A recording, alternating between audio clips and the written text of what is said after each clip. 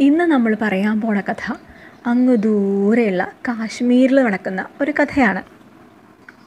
കാശ്മീരിലെ ശ്യാം ശബരി മലനിരകളുടെ താഴെ ഒരു ചെറിയ ഗ്രാമമുണ്ട്. വേനൽക്കാലത്തും നല്ല തണുത്ത കാറ്റ് വീശുന്ന വലിയ വലിയ പൈൻമരങ്ങൾ തൊട്ടടുത്തായിട്ട് ഇങ്ങനെ നിൽക്കണ നല്ല സുന്ദരമായ ഗ്രാമം. ഈ ഗ്രാമത്തെ ചുറ്റിയിട്ട് ഒരു പുഴ ഒഴുകുന്നുണ്ട്. ആ പുഴയുടെ പേരാണ് കിഷൻ ഗംഗ ചില സ്ഥലത്തൊക്കെ സൗമ്യമായിട്ട് ഒഴുകും ചില സ്ഥലത്തൊക്കെ നൊരക്ക തുപ്പി ആകെ അലറി കുതിച്ചൊഴുകും പുഴ. ആ ഗ്രാമത്തിലെ താമസക്കാർ ആരാന്നറിയോ? ആട്ടിടയന്മാർ അവർക്കറിയാം വേനൽക്കാലത്ത് മാത്രമേ ജോലിക്ക് പോകാൻ പറ്റുള്ളൂ എന്ന് അവർക്കറിയാം. വേനൽക്കാലത്തൊക്കെ അവർ കഠിനമായിട്ട് പണിയെടുക്കും. മഞ്ഞുകാലത്തോ മഞ്ഞുകാലത്ത് അവരുടെ ഗ്രാമം മുഴുവൻ മഞ്ഞ് വന്ന് നിറയും. അവർക്കൊന്നും ചെയ്യാൻ പറ്റില്ല. അതുകൊണ്ട് തന്നെ അവർ തൊട്ട് തൊട്ട് പൈൻ മരങ്ങളെ പോലെ തൊട്ട് തൊട്ട് കൂട്ടുകുടുംബങ്ങളായിട്ടാണ് താമസിക്കുന്നത് അവരുടെ ചെറിയ വീടുകൾക്ക് ഒരു പ്രത്യേകത ഉണ്ട് എന്താ അറിയോ അവരുടെ കിടപ്പറയുടെ തൊട്ട് താഴെയാണ് ആടുകളുടെ ആല. നമ്മുടെ ഒന്നും അങ്ങനെയല്ലല്ലോ. പക്ഷെ എന്തിനാ അവരങ്ങനെ ചെയ്യണത്? മഞ്ഞുകാലത്തെ ഈ ആട്ടിൻകുട്ടികളുടെ രോമങ്ങളിൽ നിന്ന് കുറച്ചും കൂടി ചൂട് കിട്ടുമല്ലോ. അതിന് വേണ്ടിയിട്ടാണ് അങ്ങനെ ചെയ്യണത്. കുറച്ചു കാലം മുമ്പേ ഈ ഗ്രാമത്തിലൊരു വലിയ ഭൂമി കുലുക്കുണ്ടായി നിങ്ങൾ പൂച്ച എലി പിടിക്കണ കണ്ടിട്ടുണ്ടോ? പൂച്ച എലിയെ പിടിക്കുമ്പോൾ എലി ഇങ്ങനെ ആകെ കുടഞ്ഞ് തി- കുടഞ്ഞ് ഓടി രക്ഷപ്പെടാൻ നോക്കില്ലേ? പൂച്ച എലീനെ വായൽ കടിച്ച് പിടിച്ച് ഇങ്ങനെ ആകെ ഇങ്ങനെ കുടഞ്ഞ് കുടഞ്ഞ് അങ്ങോട്ടും കുറേ തട്ടി ഇങ്ങോട്ടും കുറേ തട്ടി അങ്ങോട്ട് തിന്നും അല്ലേ? അതുപോലെ ഭൂമി കുലുക്കുണ്ടായപ്പോൾ ഈ ഗ്രാമത്തിലെ വീടുകളെയും മനുഷ്യന്മാരെയും മരങ്ങളെയൊക്കെ ഭൂമി എടുത്ത് ഇങ്ങനെ കുടഞ്ഞ് മറിഞ്ഞ് തരിപ്പണാക്കി.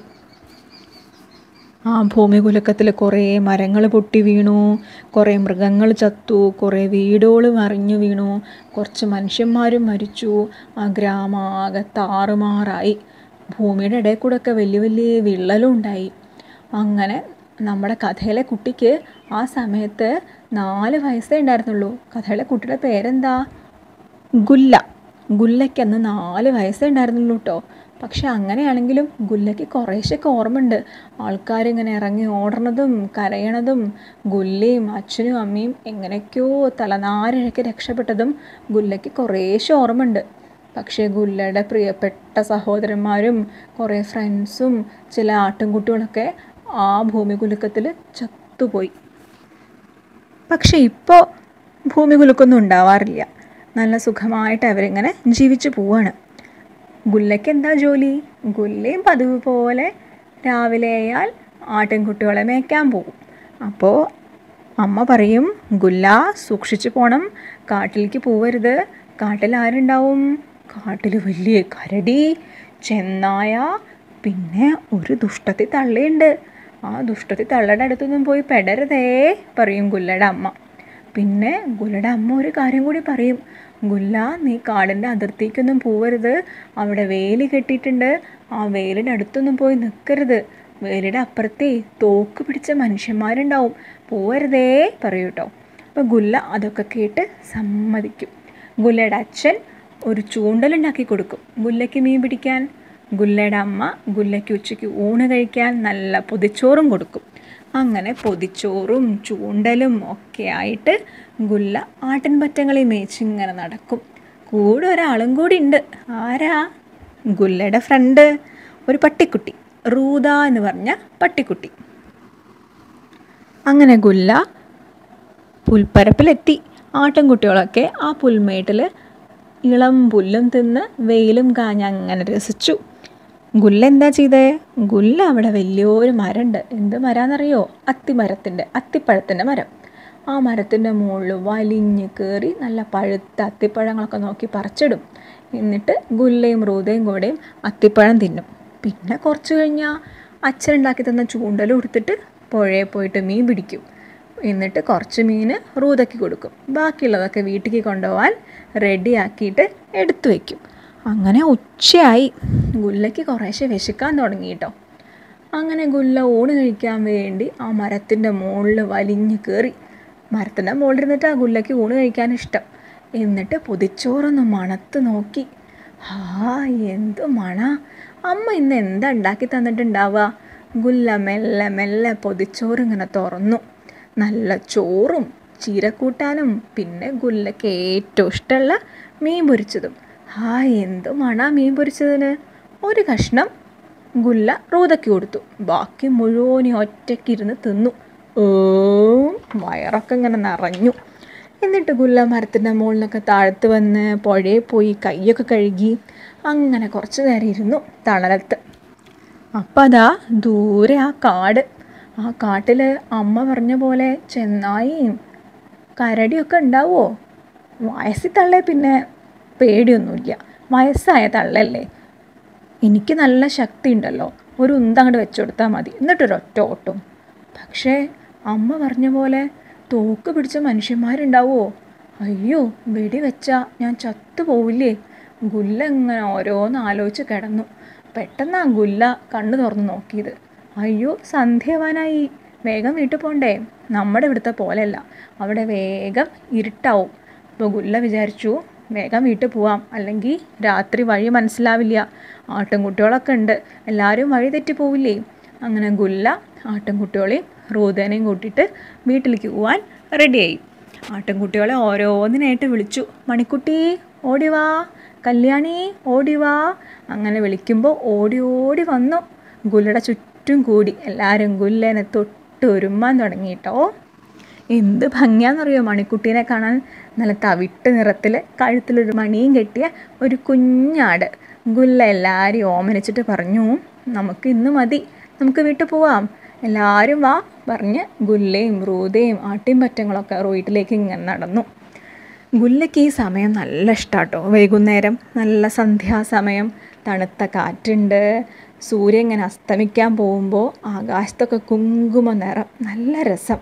അപ്പം ഗുല്ലയ്ക്ക് തോന്നി കുറച്ച് നേരം ഈ പുള്ളിലിങ്ങനെ കിടന്ന് ആകാശത്തേക്ക് ഇങ്ങനെ നോക്കിയാലോ നല്ല സുഖം ഉണ്ടാവില്ലേ അപ്പോൾ ഗുല്ല വിചാരിച്ചു റൂദ റൂദ നീ ഇവരെയും കൊണ്ട് വീട്ടിലേക്ക് നടന്നോ.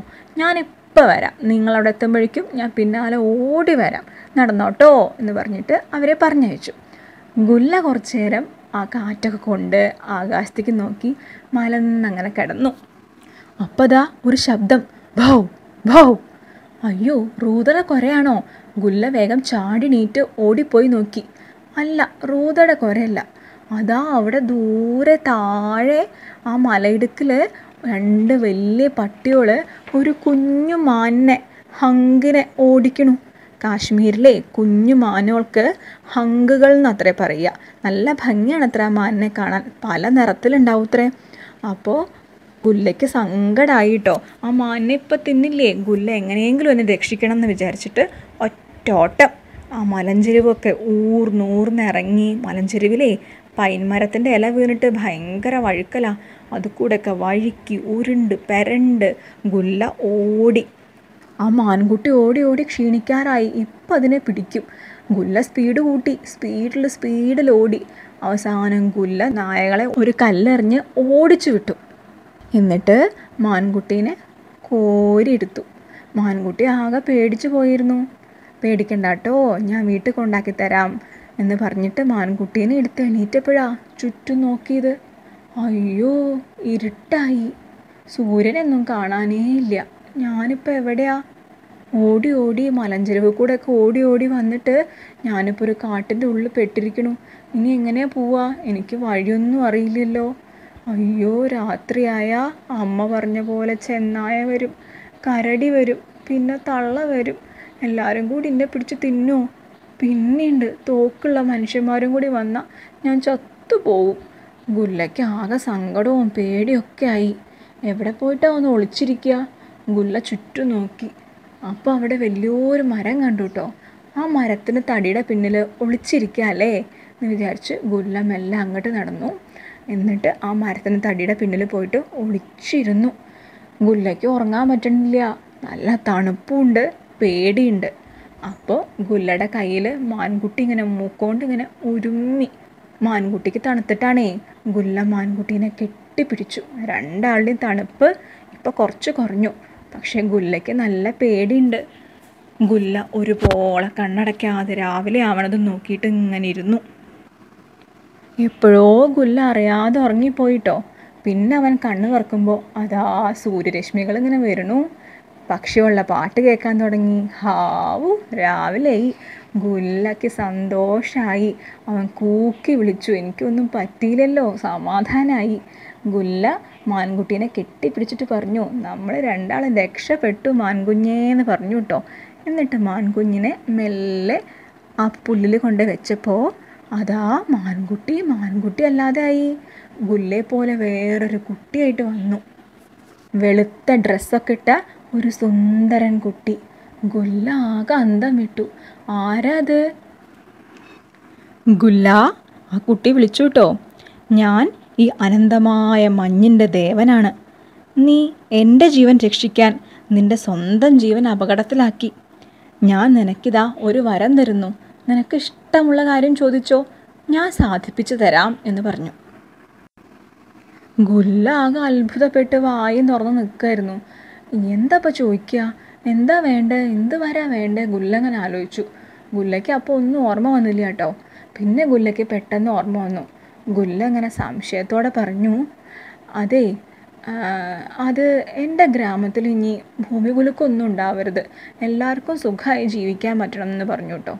അപ്പോൾ ആ കുട്ടി സന്തോഷമായി ചിരിച്ച് അങ്ങനെ ആവട്ടെ എന്ന് പറഞ്ഞിട്ട് അങ്ങോട്ട് അപ്രത്യക്ഷനായി. ഗുല്ല പിന്നെ അന്തം വിട്ടു. ഗുല്ലയ്ക്ക് സന്തോഷവും സങ്കടവും അത്ഭുതവും ഒക്കെ ഉണ്ടായി കേട്ടോ ഗുല്ല എന്താ ചെയ്യാന്നറിയാതെ ഇങ്ങനെ അന്തം വിട്ട് നിന്നു. അപ്പോഴാ ഗുല്ലയ്ക്ക് ഓർമ്മ വന്ന്. അപ്പം അച്ഛനും അമ്മയും തിരഞ്ഞ് നടക്കുന്നുണ്ടാവും. ഞാൻ കാട്ടിന്റെ ഉള്ളല്ലേ? വേഗം പുൽമേട്ടിക്ക് പോവാ. ഗുല്ല വേഗം ആ മലഞ്ചെരുവുകളൊക്കെ ഓരോന്നോരോന്നായിട്ട് ഇറങ്ങാൻ തുടങ്ങി. അങ്ങനെ നടക്കുമ്പോൾ അതാ ദൂരെ അച്ഛനും അമ്മയും അച്ഛനും അമ്മയും ഗുല്ലേനെ അന്വേഷിച്ച് വരിക കാട്ടിലേക്ക്. ഗുല്ല ഉറക്ക വിളിച്ചു പറഞ്ഞു അമ്മേ അച്ഛാ ഞാൻ ഇവിടെ ഉണ്ട് പേടിക്കണ്ട എന്ന് വിളിച്ചു പറഞ്ഞു കേട്ടോ. അപ്പോൾ എന്നിട്ട് ഗുല്ല അച്ഛന്റെ അമ്മയുടെ ഓടി ചെന്ന് അവരെ കെട്ടിപ്പിടിച്ചു. അച്ഛാ അമ്മേ ഇനി ഇനി നമ്മുടെ ഗ്രാമത്തിലെ ഭൂമി കുലുക്കേ ഉണ്ടാവില്ല ഗുല്ല സന്തോഷമായിട്ട് പറഞ്ഞു കേട്ടോ. അപ്പോൾ അച്ഛനും അമ്മയ്ക്കും ഈ കാര്യമൊന്നും മനസ്സിലായില്ല. എന്താ ഇങ്ങനെയൊക്കെ പറയണേ വിചാരിച്ചു. എന്നിട്ട് ഗുല്ല അച്ഛന്റെയും അമ്മയുടെയും കൈ പിടിച്ച് വീട്ടിലേക്ക് പോകുമ്പോൾ അന്ന് നടന്ന കാര്യങ്ങളൊക്കെ പറഞ്ഞു. ഗുല്ലയ്ക്ക് ഏറ്റവും സന്തോഷമായത് ഇനി നമ്മുടെ ഗ്രാമത്തിൽ ഭൂമി കുലക്കൊന്നും ഉണ്ടാവില്ലല്ലോ. അങ്ങനെ സമാധാനിച്ച് ഗുല്ല ഗുല്ലയുടെ ആട്ടിൻകുട്ടികളെ കാണാൻ വേണ്ടി വീട്ടിലേക്ക് അച്ഛന്റെയും അമ്മയുടെയും കൈ പിടിച്ച് വേഗം വേഗം നടന്നു.